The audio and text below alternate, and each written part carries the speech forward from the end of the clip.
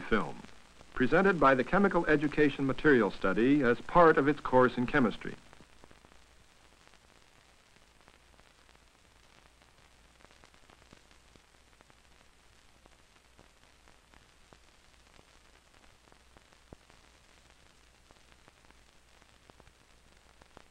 A nitric acid molecule, as shown by this model, consists of an atom of nitrogen surrounded by three oxygen atoms with a hydrogen atom attached to one of the oxygens. Nitric acid is a versatile substance. It can act as an acid, as in the manufacture of chemical fertilizers. It can act as a base, as in the manufacture of nitro compounds, which are used in dyes, fuels, and drugs. It can act as an oxidizing agent, as in many explosives. Most chemical fertilizers contain nitrogen as an essential component. One might, therefore, think that concentrated nitric acid, which contains 15% nitrogen, would make an effective chemical fertilizer. But it is corrosive and damages plants. Perhaps the acidity of nitric acid causes the damage. Let's investigate this acidity using an acid-base indicator. Here we have a set of tubes containing solutions of varying acidity, each containing methyl violet as an indicator. Note that the color varies from green to violet as the hydrogen ion concentration changes from 10 molar to 1 1,000th molar. When methyl violet is placed in 16 molar nitric acid, the color indicates a very high hydrogen ion concentration, at least 10 molar. Thus, nitric acid is a very strong acid. It readily donates a proton to a base. This model shows a nitric acid molecule donating a proton to a water molecule. A nitrate ion and a hydronium ion form. In concentrated nitric acid, the protons move back and forth from one molecule to another and even to and from the nitrate ion. Since neither water nor nitrate ion holds protons firmly, the solution is strongly acidic. If we are to reduce the acidity, we need to have present a stronger proton acceptor, that is, a stronger base than water or nitrate ion. This chart shows the relative strengths of certain acids and bases. We see that nitrate ion and water are among the weak bases, that is, poor proton acceptors. Looking down the list for a stronger proton acceptor, preferably a base containing a high percentage of nitrogen, we find NH3, ammonia.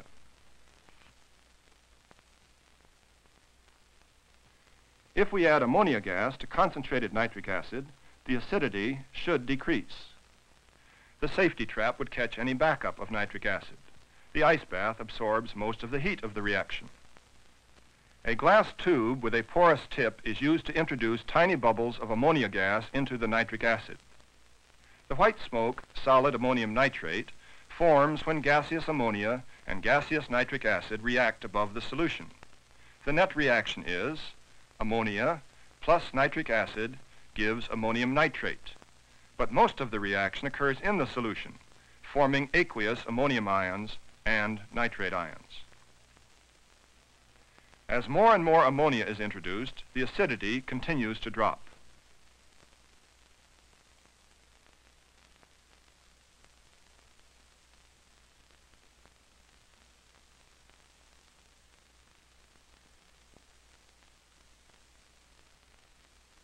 The methyl violet changes through the intermediate colors finally becoming violet. Let's compare our product with the known indicator colors.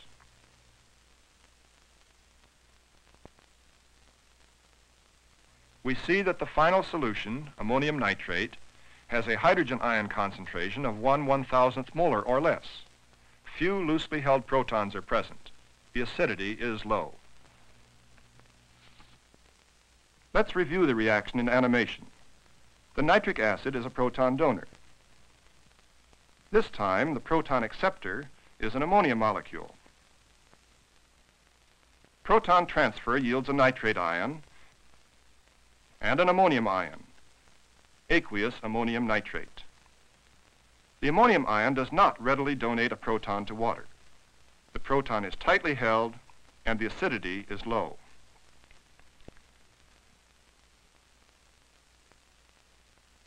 Repeating the neutralization in the absence of methyl violet gives a colorless solution.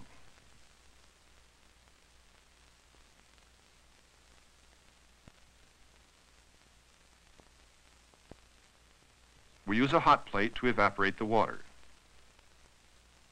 Pure solid ammonium nitrate remains in the beaker. Ammonium nitrate is a very useful fertilizer. Its 35% nitrogen content is more than twice that of nitric acid, and when properly applied, it does not damage plants. So in making fertilizers, nitric acid acts as a strong acid, a good proton donor.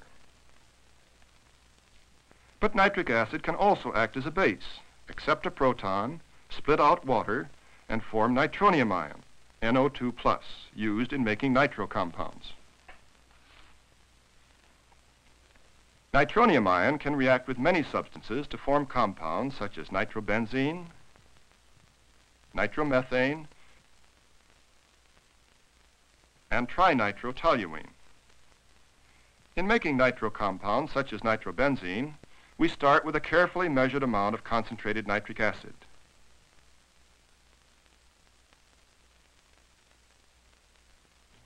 We then add a measured amount of concentrated sulfuric acid. The marked rise in temperature indicates a reaction is occurring. Reactions producing nitro compounds are extremely dangerous. They should be carried out only under carefully controlled conditions and at low temperatures. Next, we add a measured amount of benzene to the mixture. Benzene is only slightly soluble in the acids. We must shake to mix the two. Yellow nitrobenzene, the desired product, collects in the upper layer. Let's review what has taken place in the preparation of nitrobenzene. We use animated models to follow the molecular behavior. In the first step, nitric acid acts as a base, accepting a proton from sulfuric acid. The resulting complex splits out water. In the solution, we now have two ions, a hydrogen sulfate ion, HSO4-, a nitronium ion, NO2+.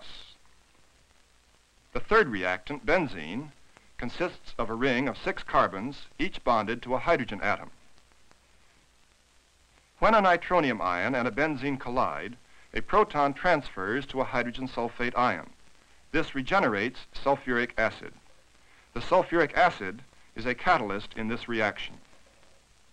The product, nitrobenzene, is used to make dyes and other organic compounds. We have seen nitric acid can act as an acid, and we have seen it can act as a base. Now let's see how nitric acid acts as an oxidizing agent. Photographic etching is done by slowly oxidizing metal plates with concentrated nitric acid.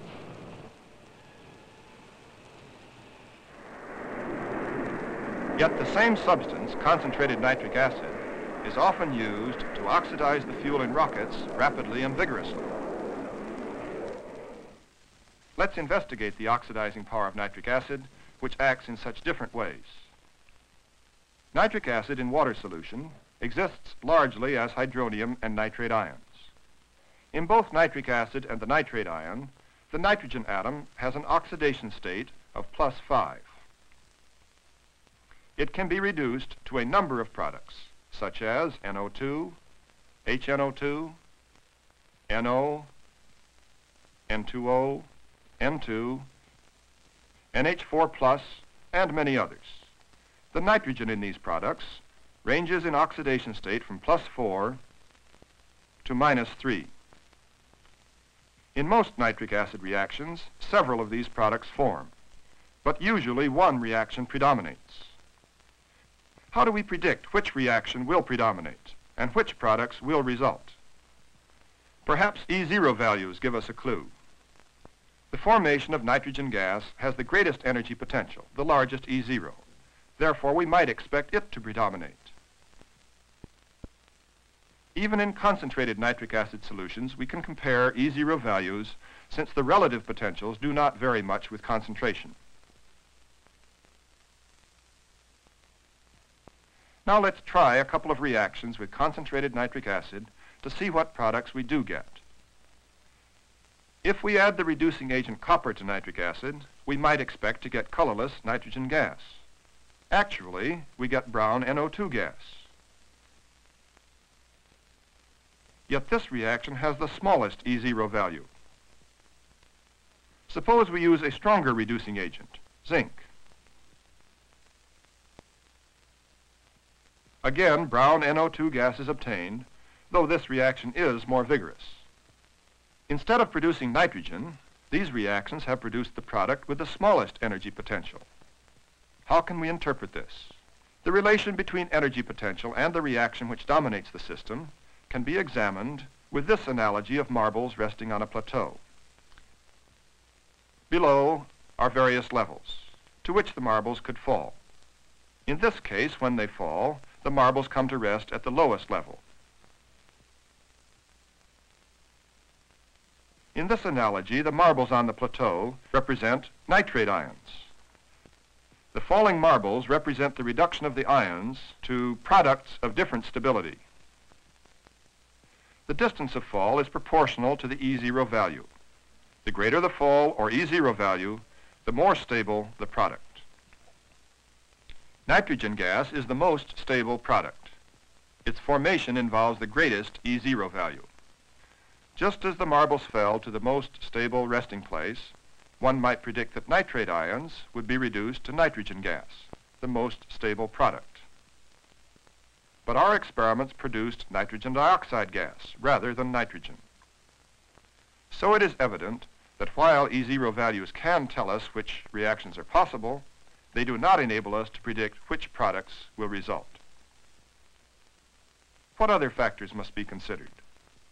Nitrate ions cannot be reduced to nitrogen gas without crossing the potential energy barrier to the reaction. Experiments show this barrier is much higher than the barrier to the reaction producing nitrogen dioxide. Thus, at low temperatures, many reactants will have enough energy to go over the lower barrier, but few will be able to cross the higher barrier. Similarly, though it is possible to reduce nitrogen dioxide gas to nitrogen gas, there is also a high barrier to this reaction. Therefore, nitrate ions will be more often reduced to nitrogen dioxide gas, even though its formation has less energy potential than the formation of nitrogen gas. The E0 values tell us that both these reactions are possible. But the availability of energy in the system, that is, the temperature, plays a major role in determining which reaction predominates we have observed that a low temperature favors the product nitrogen dioxide gas.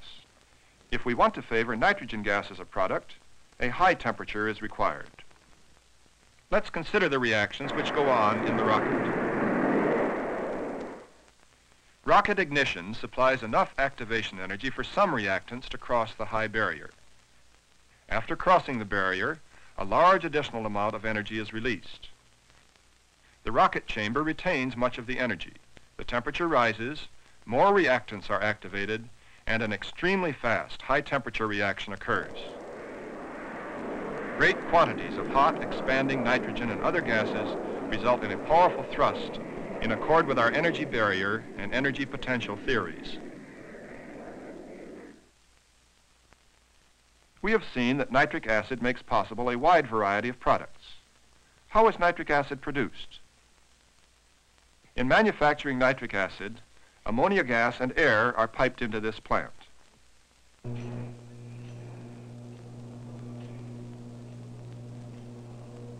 The ammonia and air enter this reactor where they pass over a platinum catalyst. The heat of reaction keeps the catalyst red hot. Here, gaseous ammonia reacts with oxygen to form gaseous water and NO. The products from the catalytic chamber pass into these pipes. As they are cooled, NO gas reacts with oxygen to form NO2 gas. High pressures and cooling are used to increase the yield. Finally, the nitrogen dioxide is sent to this absorption column, where nitric acid forms.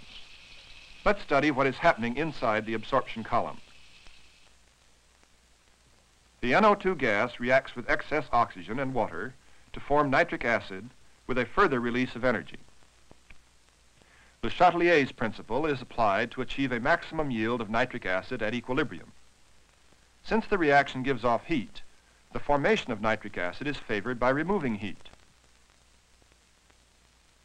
Cooling coils surround the column. Also, the reactants are kept at high concentration by adding excess air at the bottom of the column and water at the top. And finally, since we are forming a liquid from gases, the operation takes place at higher than atmospheric pressure. To review, we oxidized ammonia through NO and NO2 to nitric acid. In stages, we oxidized the nitrogen atom in ammonia from minus 3 to plus 2 to plus 4 and finally to plus 5 forming nitric acid. We have seen that nitric acid can act either as an acid or as a base. Acting as an acid, nitric acid donates its proton to a base and forms the nitrate ion. Acting as a base, nitric acid accepts a proton from a stronger acid, splits out water, and forms the nitronium ion. As an oxidizing agent, the nitrate ion can be used in a wide variety of oxidations. These vary considerably in reaction rate, though all have large E0 values. Controlling the temperature helps control the product. The application of Le Chatelier's principle allows us to control the equilibrium yield. Thus, through a knowledge of fundamental principles, we can understand and control the complex processes in which we produce and use nitric acid.